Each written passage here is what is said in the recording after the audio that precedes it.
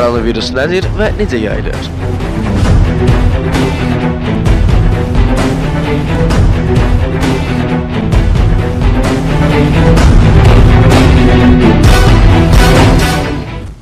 ...2019-cu ilin dekabr ayının ortalarında Çinin mərkəzi Hubei əyalətinin Wuhan şəhərində yerli sakinlərdə naməlum mənşəli pnevmoniya xəstəliyinin ilk aşkar olunması ilə başladı. 31 dekabr 2019-cu il Çin hakimiyyəti naməlum pnevmoniyanın başlanması barədə Ümumdünya Səhiyyə Təşkilatına məlumat verdi. Sonradan Çin alimləri yeni koronavirus 2019 NCOV ayırd edərək onun genomunun genetik ardıcıllığını təyin etdilər. Yeni koronavirusun inkubasiya dövrü 2 gündən 10 günə qədər davam edir və son məlumatlara görə xəstəlik simptomlarının başlamazdan əvvəl yoluxucu olur. 22 yanvar 2020 tarixindən etibarən Wuhana karantin qoyuldu. 24 yanvar tarixindən etibarən Wuhana bitişik olan Huangan, Etzhou, Qibi və Xinjiang şəhər rayonlarına karantin tətbiq edildi. Ümumilikdə 14 şəhərdən gediş məhduddur. Virus Çindəki bütün əyalətlər səviyyəsində inzibati vahidlərdə qeyd olunur.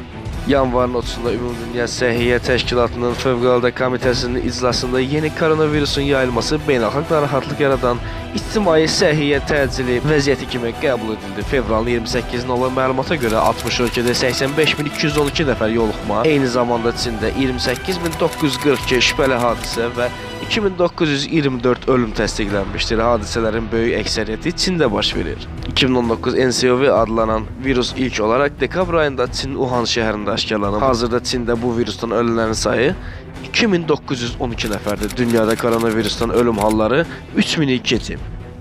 Bu ölümlərin 90%-dən çoxu virusun yayıldığı Hubei bölgəsində baş verib. Bundan başqa İranda 50-dən çox, İtaliyada 30-dan çox olmaqla 10 fərqli ölkədə ölüm halları qeyd alınıb.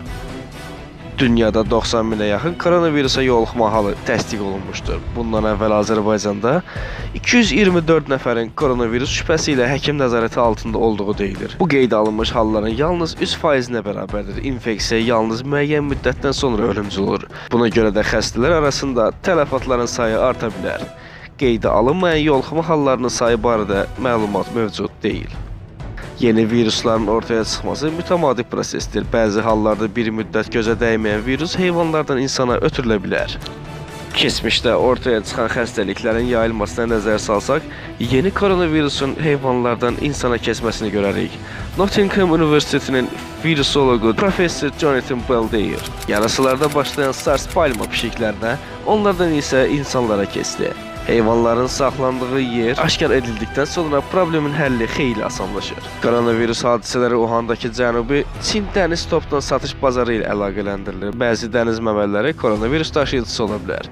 Lakin böyük bir ehtimalla virusun daşıyıcısı bu bazarda satılan toyuq, yarasa, dovşan və ilan kimi vəhşi canlılardan biri olur. Virus ortaya çıxanda Çin rəsmiləri onun insanla insana ötürülmədiyini dedilər, amma bu cür halların yer aldığı artıq təsdiqlənib. Gün kimi aydındır ki, virus insandan insana ötürülür. Oxford Universitetindən professor Peter Horby deyib.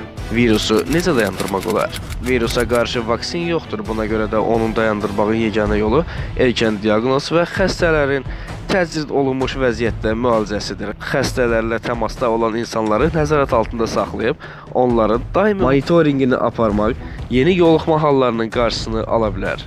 Əlavə olaraq kütləvi toplaşmağa və səyahətə məhdudiyyətlər də qoyula bilər.